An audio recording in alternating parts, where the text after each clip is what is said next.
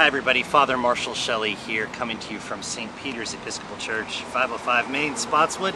That's important because right behind me is Main Street and uh, this message is going to be a little different. You're going to hear some road noise and some traffic behind me, but I wanted to come to this spot in particular uh, for a very particular reason. We're getting ready in our church to open our doors and to re-enter our space. For the past year and a half we've been outside and one of the things we've had to contend with in our worship is road noise. Trucks going past, brakes, engines, uh, people honking and everything going on. So I wanted to take this moment in this context to talk about where I'm sitting right now and why that's important, both in terms of the intersection that our church has here on a very busy corner on Main Street and DeVoe center of Spotswood, but also the importance of where I'm sitting in this very moment. Because if you drive by St. Peter's, you know that aside from our beautiful church, which is just over there,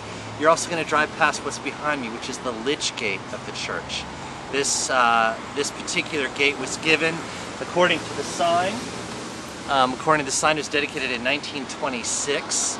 Um, it was uh, a gift of the Helm family, uh, founders of the town of Helmetta. And where I'm sitting right now is actually an unusual feature of a lich gate. It is the coffin nook. See, a lich gate was a place where people bringing their dead to be buried in the churchyard, to have the uh, services read over them at the uh, close of their lives, this is where the priest would greet them on their way to the church. The funeral party would arrive by carriage. Um, the coffin would be propped up in this nook and the pallbearers would stand underneath the canopy that's just about over my head right here and uh, wait for the priest to arrive.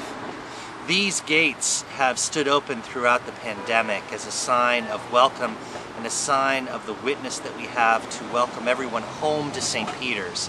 And it's been important to us to share that with you.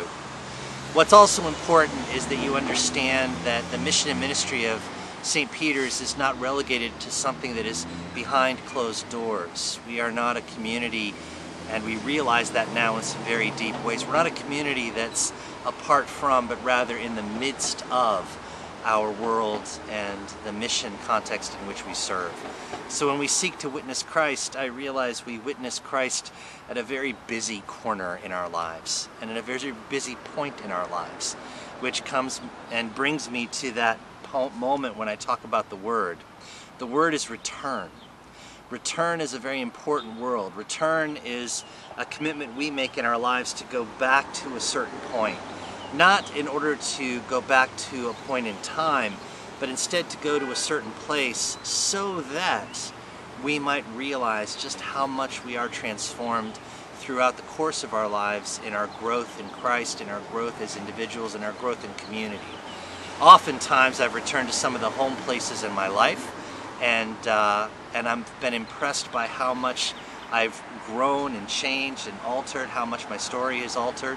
And uh, I'd say that every time I go away from and come back to St. Peter's, I experience a different connection, a different point of intersection, a different sense of entering through a gate into community. We're getting ready to do that on Sunday when we return to our sacred space as a community of faith to proclaim our witness in Christ. And I urge you to join us virtually or in person. And sorry for the loud noise. It was an intentional choice that I'm starting to regret, but uh, I'm appreciative of your time and your patience in bearing with me in this. We are getting ready next week for a huge tent sale celebrating Christmas in July with our thrift shop. We continue to celebrate the 411 effort of granting uh, money to local restaurants to assist us in feeding the hungry with the community soup kitchen.